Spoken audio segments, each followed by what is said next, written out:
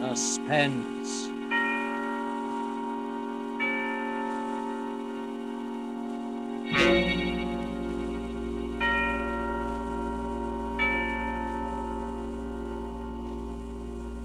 This is the man in black, here again to introduce Columbia's program Suspense.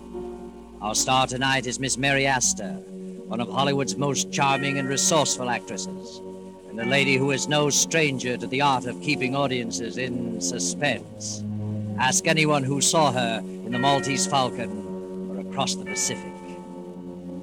The story called In Fear and Trembling by J. Donald Wilson is tonight's tale of suspense.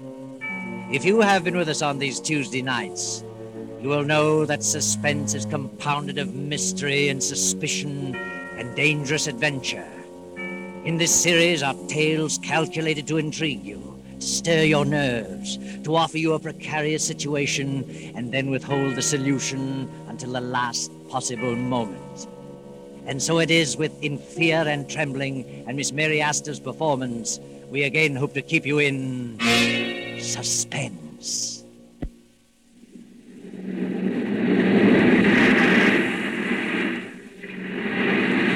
At the edge of the cliff, overlooking the sea, sits a gray stone mansion, weather beaten by the storms of several decades.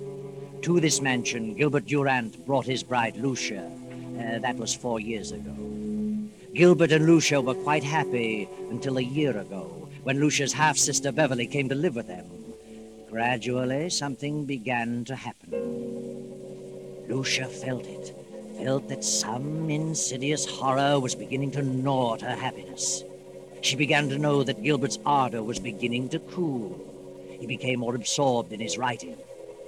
Then she felt the cold clamminess of the great stone structure creeping about her, clutching at her heart.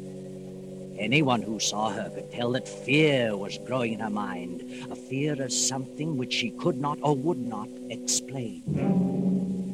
One evening, Lucia, having excused herself at dinner, tossed on her bed in a fretful sleep. No. Don't. Don't. Get away from me. Ah! Oh, oh, Mrs. Durant. Mrs. Durant, what's oh, wrong? Benson, come in. Oh, what on earth is wrong? Why were you screaming? oh, Benson, I, I must have been dreaming. It was horrible. You're white as a ghost and shaking like a leaf. Yes, I, I know. Oh, Mrs. Benson, I can't stand it. It's driving me mad. That makes the fourth or fifth time I've dreamed the same thing, the same in every detail. I've never heard you scream before. No. Oh, that's probably because What? oh, it always comes a little closer to me. Tonight it almost reached me. It? What do you mean? I don't know what it is. It's a figure, a human figure, but I can't tell whether it's a man or a woman. It comes through that door and walks slowly across the room with its arms outstretched, reaching for me. Are you sure you were dreaming? Now that I think of it, it isn't like a dream, an ordinary dream. Its reality seems to carry over even after I'm awake. That's what's made you so ill. This dream, if it is a dream, means something. Is that what you think? It's a, a premonition. Perhaps. What time is it? Nine o'clock. Where's Gilbert? Your husband went horseback riding over an hour ago. Did he go alone? Your sister went with him. Beverly? Why didn't he ask me to go? Well, you've not been yourself lately. Not been feeling well. Yes, yes, of course. Well, if you're feeling better, I'll go back to my room. Mm-hmm. Oh, yes, I'll be all right. Thank you, Miss Benson. Good night. Good night. Beverly. Gilbert.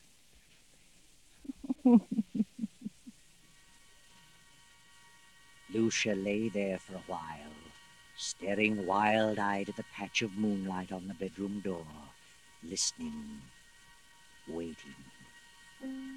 Then, as the clock struck half past ten, the door opened, and a figure stepped into the room and moved noiselessly through the moonlight to Lucia's bed. Suddenly, Lucia opened her eyes. Gilbert, don't, don't! Lucia, what's wrong with you? What are you doing in my room? I just wanted to know how you felt. How long have you been standing there? Oh, just a few seconds. I, I was dreaming, I guess. I, When I woke up, you startled me. Why were you yelling, don't, don't? I don't know. I haven't the slightest idea. I talked with Dr. Hanby about you today. I told him how run down you were, and he suggested that I get a tonic for you. I'll drop in at the drugstore on my way home tomorrow evening. Uh, a tonic? Yes. Well, what is it? Oh, I don't remember. Something, something in strychnine. Strychnine. Yes, he said it would give you an appetite. Where have you been, Gil? Oh, I've been riding. Nice moonlight night. Very pleasant. Did Beverly enjoy it? Yes, she's an excellent rider. I've decided to buy that filly from Thompson. Going over there tomorrow afternoon. Is Beverly going with you? Yes. She's a good judge of horseflesh. Why? Nothing. I just asked. Well. Good night, Lucia. See you at breakfast? Uh, yes. Good night. Something, something, and strychnine. Something, something, and strychnine. Lucia jumps from her bed, rushes down to the library, snaps on the light, and steps to the shelf holding the encyclopedia. She runs her fingers down the long line of books, L M N O P R, and then she stops and stares. The S to T is missing. Then she sees it on the desk, the missing volume. She rushes to the desk and stares down at the open page. Yes. Yes, that's it. Strychnine. I'll tell you what, Beverly. I'll leave the deal entirely up to you. Up to me? Oh, Gil, that's not fair. Why not? Well, suppose she turns out to be a lemon. I don't think she will, because you're going to have the job of training her. Oh, you certainly flatter me. Not in the least. Oh. Good morning, Lucia. I just realized what time it was. You'll be leaving in a few minutes. Yes, it's nine this very minute. Got to step on it. Uh, more coffee, Beverly? No, thanks. How do you feel, Lucia? Better. Much better. You better eat something. No, no, I can't. At least some coffee. Yes, I'll have some coffee. I've got to run. See you later, Lucia. Yes, Gil. And I'll see you this afternoon at 2, Beverly. Yes, I'll meet you in town at two. Oh, Gil, don't forget Lucia's medicine. No, I won't. Bye, Lucia. Are you meeting Gil in town, Beverly? yes, he wants me to decide on that filly he's interested in. Where did you learn so much about horses? Oh, seems to be natural. Why don't you get interested in horses, Lucia? Why should I? What are you interested in? Well, I am interested in a few things. My husband in particular. You don't act interested in anything. really? Well, if you'll take my advice, you'll snap out of this coma and get some pep. Does Gil like women with pep? No man cares about a woman who sits around and mopes. I think you're a hypochondriac, Do you? you should do something about it. I intend to. I intend to do something about it. I'm glad to hear it. Get out and do things. Play games, golf, tennis, swim, and ride. Maybe this medicine will fix you up. You know all about it, do you? What is it? Oh, I don't know. It's a, a tonic, a, a builder-upper. I wish I could believe that. But at least you can try it. Won't hurt you. No? I wonder.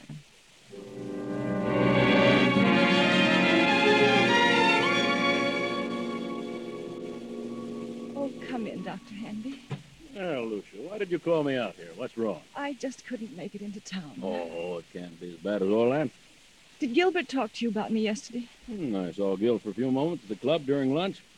Said you were run down. Did you give him a prescription for me? Oh, never do that until I've examined the patient. You didn't give him a prescription. Well, no. What did you suggest for me? Oh, I don't know. Mentioned a few tonics he might get for you. Spoke of beef iron and wine and sherry and egg and... Uh, oh, I don't remember what else. Then you mentioned nothing specifically. I don't think so. I see. Now, what seems to be wrong with you, Lucia? I don't know exactly, but something has been happening to me that, well, frankly, I'm afraid I'm losing my mind. we all feel that way at times. I'm serious. Things happen to me in the night. What sort of thing? At first, I thought they were just nightmares, but when you have a nightmare, you wake up and the fear is gone. You realize the truth. But this vision that comes to me haunts me through the waking hours as well. Vision?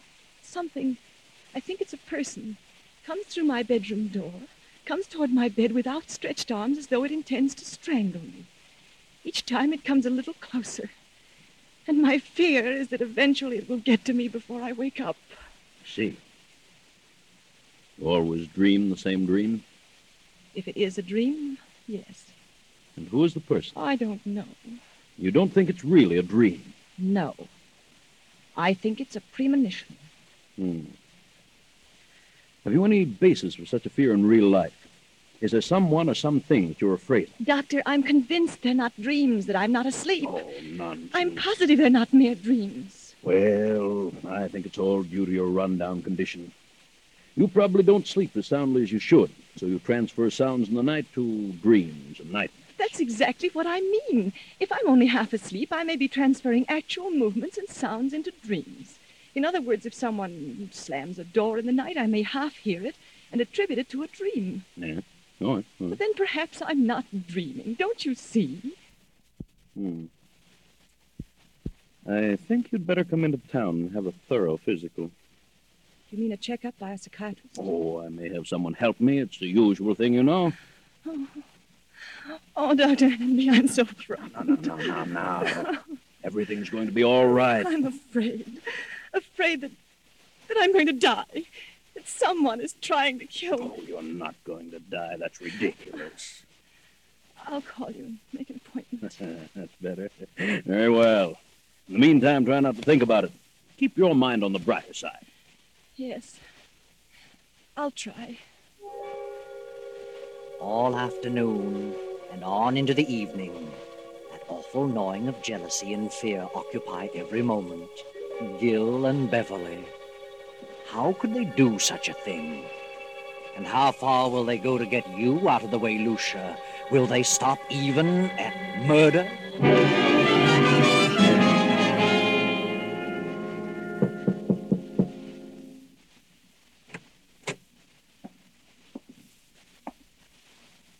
Lucia?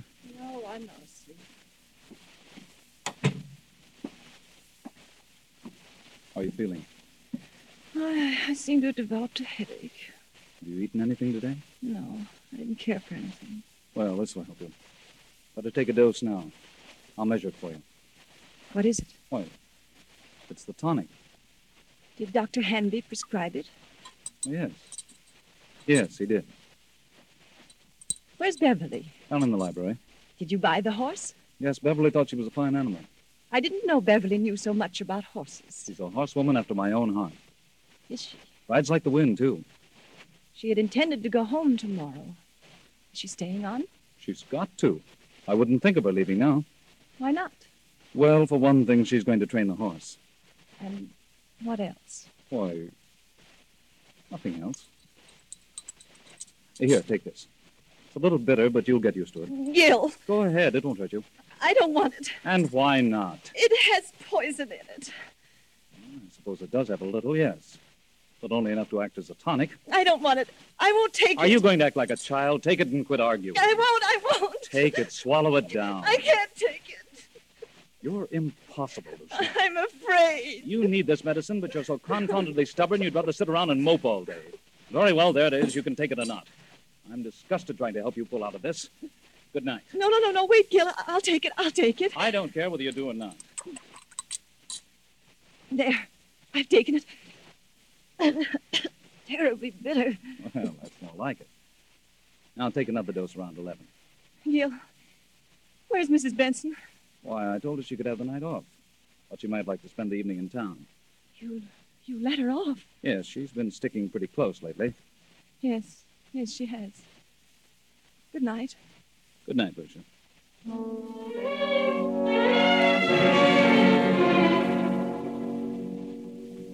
What's wrong, Gil? You look upset. I am. Lucia didn't want to take it. No? Why not? She's afraid of medicine. What are you going to do? She finally took a dose of it. But if I know her, she'll never take another drop. She's got to take it, Gil. You've got to figure out a way to make her take it. It can't be disguised. It's too bitter. Try something else. I'll try and coax her into it again. Isn't there something that tastes more pleasant or, or something you could put in milk or orange juice? Mm, I don't know. But I'll find something. Of course you will. You've got to. She's. Wait a minute. There's someone listening outside the door. Oh. Oh, sir. Well, Benson, What are you doing standing here in the dark? Why, I was just going upstairs to see if Mrs. Durant wanted anything before I went out. I see. Now, by the way, I'm staying home for a couple of days, and I thought that since you've been staying so close to the job, you'd welcome a few days' leave. Leave? Why, yes. But Mrs. Durant may prefer that I stay. I think you'd better take a little rest yourself. You needn't come back till Friday. But I. I don't need a rest. You come back Friday. Yes. Very well, sir. But that night, for once, the good Mrs. Benson disobeys orders. A few minutes before 12, she returns to the mansion. No lights are burning.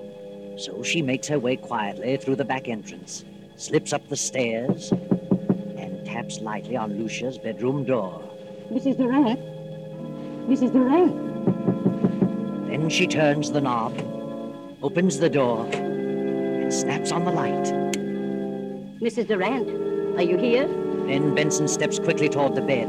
The bed is empty, but a horrible sight meets her eyes. Blood. Blood all over the bed. Oh. Oh. Get me the police department. All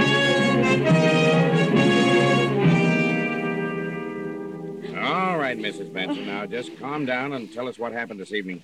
Well, earlier in the evening, Mr. Durant told me that I could have the night off since I'd been staying close to Mrs. Durant for some time.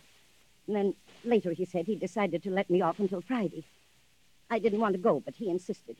Was there anyone else in the house? Yes, Mrs. Durant's half sister, Beverly. Did you leave the house? Yes. But I sneaked up the back stairs and told Mrs. Durant I'd be back about midnight. Hmm.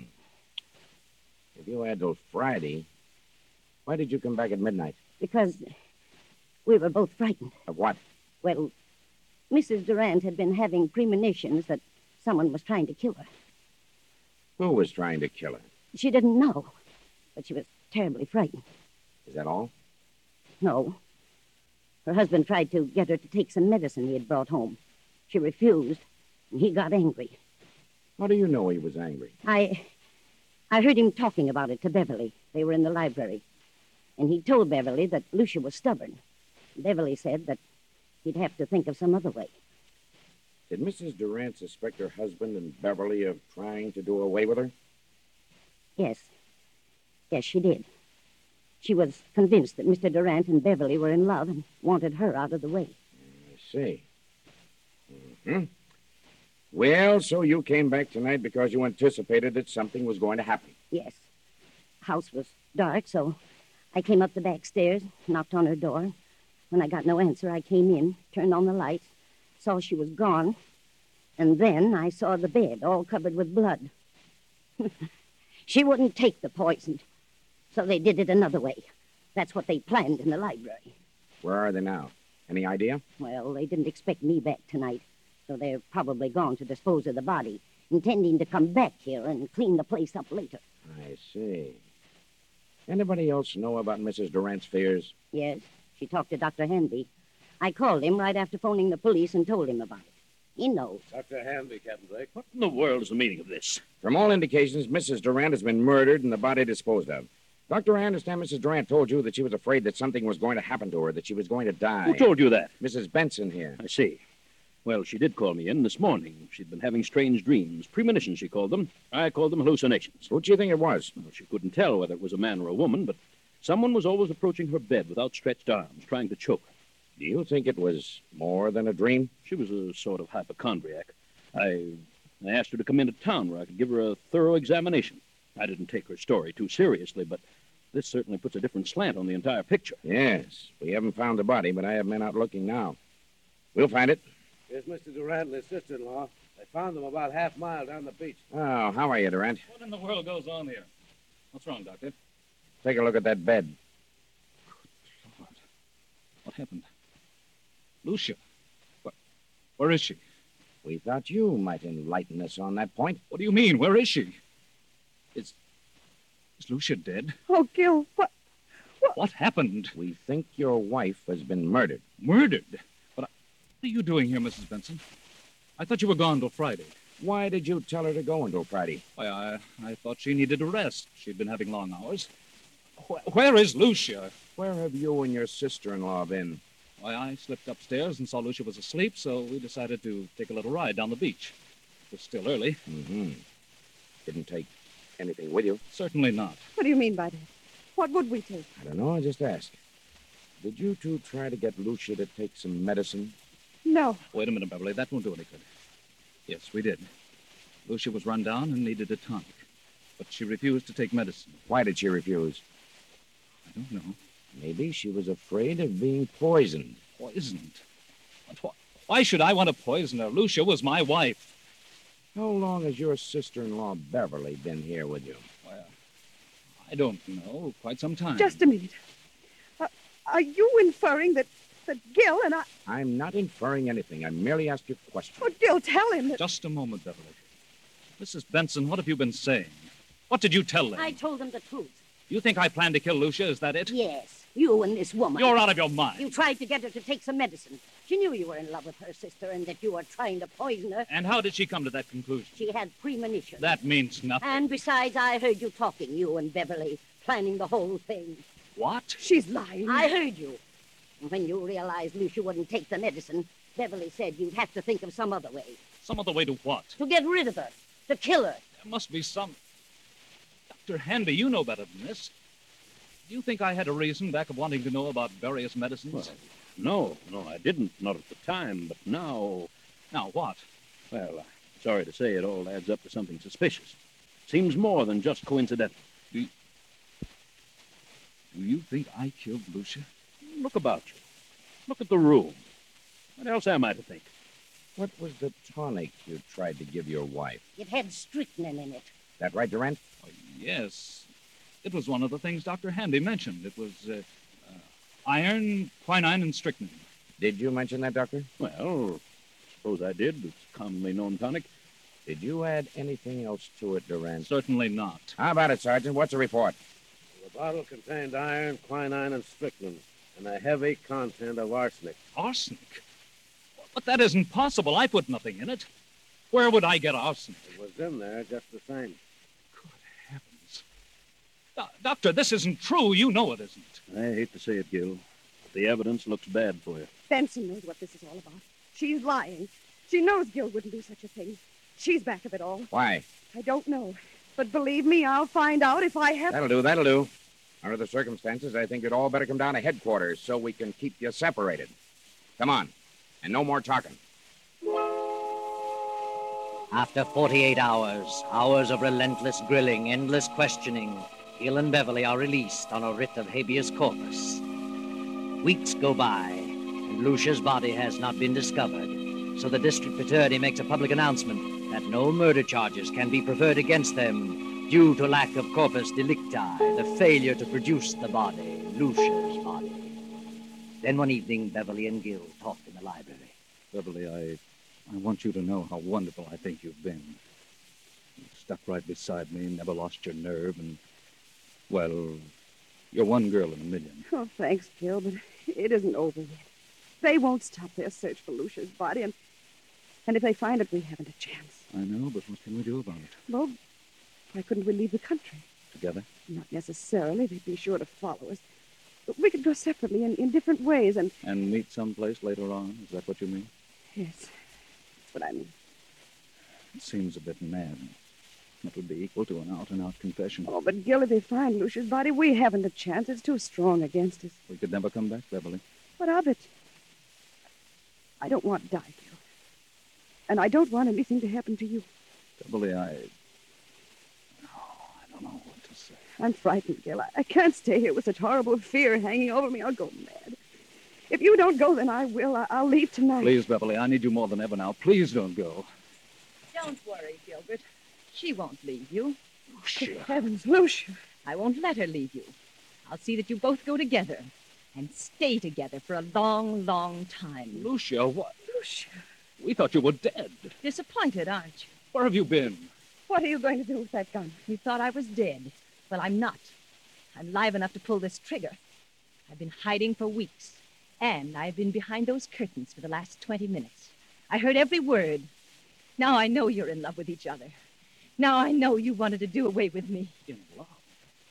Beverly and I? From the day she came here. She took you away from me. I did not. We never thought of such a thing. Never. Never entered our mind. Why lie about it? You've let your imagination run away with you, Lucia. You're insane. You think so? Well, if I am, it's your fault. Yours and Beverly's. You've driven me insane, both of you. I had a plan to get even with you, to make you pay for what you've done, but it failed. What plan? You see, I didn't know about the law of corpus delicti, but I do now. And this time there will be a body. Two bodies. Yours and Beverly's. You're a suspicious-minded devil, I, Lucia. I planned to trap you on a murder charge, my murder, but it's going to be your murder now. You were convinced that Beverly and I were in love? Of course. I never needed a dream nor a premonition. I cut myself and smeared blood on the bed and disappeared. When I found they couldn't touch you without the corpus delicti, I came back to kill you. Lucia, you fool, you vicious-minded fool. I'm going to tell you something. And go ahead and shoot me if you will. Lucia, not until now, this very moment, has the thought of loving Beverly ever occurred to me. You never loved Beverly. No. But I can tell you this, Lucia. Now that I've seen you as you really are, I could never love you again. Never. Gil. Wait, Beverly. But I, I, I was sure. I, I was you were sure only because your warped, jealous mind convinced you that there was something between us. You mean I? You've certainly made a sorry mess of your life, Lucia. Then I. All I've done is killed your love. Oh, Gil. Yes, Lucia. And you've no one to blame. No one but your own miserable self. Oh, Lucia, don't, Lucia!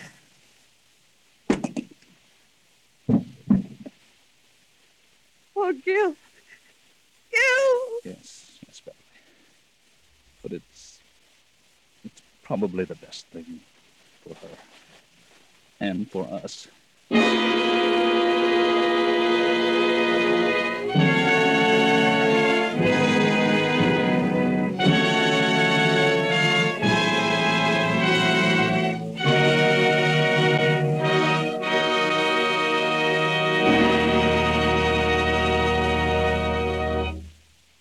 So closes In Fear and Trembling, starring Metro-Goldwyn-Mayer's Mary Astor, tonight's tale of suspense.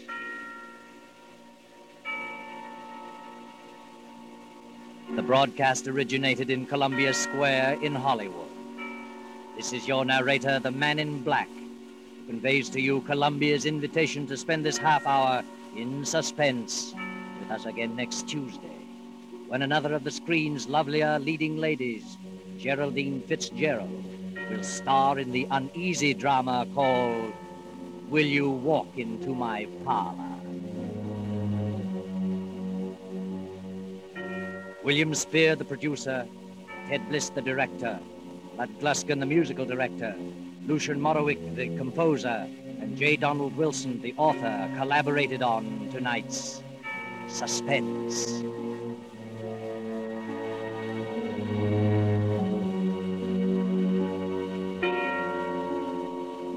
This is the Columbia Broadcasting System.